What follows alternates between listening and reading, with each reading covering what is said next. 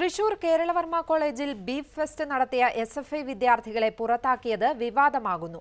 മാംസാഹാരം കോളേജിൽ കയറ്റുന്ന കീഴ്വഴക്കമില്ലാത്തതിനാലാണ് നടപടിയെന്ന് പ്രിൻസിപ്പൽ. എസ് എഫ് ഐ വിദ്യാർത്ഥികൾക്ക് അനുകൂലമായി ഫേസ്ബുക്ക് പോസ്റ്റിട്ട അധ്യാപികയെ പുറത്താക്കണമെന്ന് യുവമോർച്ച ആവശ്യപ്പെട്ടു. കോളേജിന്റെ നടപടി ഫാസിസമെന്ന് അധ്യാപക സംഘടനകൾ വിമർശിച്ചു. കഴിഞ്ഞ ദിവസം എസ് എഫ് ഐ വിദ്യാർത്ഥികളുടെ നേതൃത്വത്തിൽ കേരളവർമ്മ കോളേജിൽ ബി ഫെസ്റ്റ് നടത്തിയതിനെ എ ബി വി പി പ്രവർത്തകർ തടഞ്ഞതോടെയാണ് സംഘർഷങ്ങൾ തുടങ്ങുന്നത്. ഏറ്റുമുട്ടലിൽ ഇരു കൂട്ടർക്കും പരിക്കേറ്റു. ക്യാമ്പസിലെ S F I union office തീയിട്ട് നശിപ്പിക്കുകയും ചെയ്തിരുന്നു. ഇതേ തുടർന്ന് ബി ഫെസ്റ്റിന് നേതൃത്വം നൽകിയ S F I unit secretary Anu Mohan ഉൾപ്പെടെയുള്ള ആറുപേരെ കോളേജിൽ നിന്ന് പ്രിൻസിപ്പൽ സസ്പെൻഡ് ചെയ്തു. കോളേജിൽ മാംസാഹാരം ഉപയോഗിക്കുന്ന കീഴ്വഴക്കം ഇല്ലാത്തതിനാലാണ് നടപടിയെന്ന് പ്രിൻസിപ്പൽ വിശദീകരിച്ചു.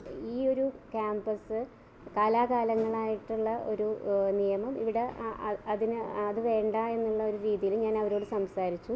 നടപടി ഏകപക്ഷീയമാണെന്നും അംഗീകരിക്കാൻ ആവില്ലെന്നുമാണ് എസ് എഫ് ഐ നിലപാട്. ഇതിനിടെയാണ് ബി ഫെസ്റ്റ് വിവാദത്തിൽ കോളേജിനെ വിമർശിച്ച് മലയാള വിഭാഗം അധ്യാപികയും എഴുത്തുകാരിയുമായ ദീപ നിശാന്ത് സമൂഹ മാധ്യമങ്ങളിൽ പ്രതികരിച്ചത്.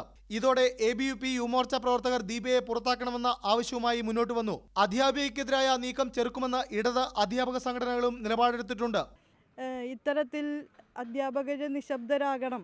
അല്ലെങ്കിൽ അധ്യാപകർക്ക് യാതൊരു വിധത്തിലുള്ള ആവിഷ്കാര സ്വാതന്ത്ര്യവും പാടില്ല എന്നൊക്കെയുള്ള നിലയിലുള്ള നിലപാടുകളും അതുമായി ബന്ധപ്പെട്ട ഭീഷണികളും ഉയർന്നു വരുന്നതിൽ അധ്യാപക സമൂഹം എന്നുള്ള നിലയ്ക്ക് ഞങ്ങൾക്ക് പ്രതിഷേധമുണ്ട്.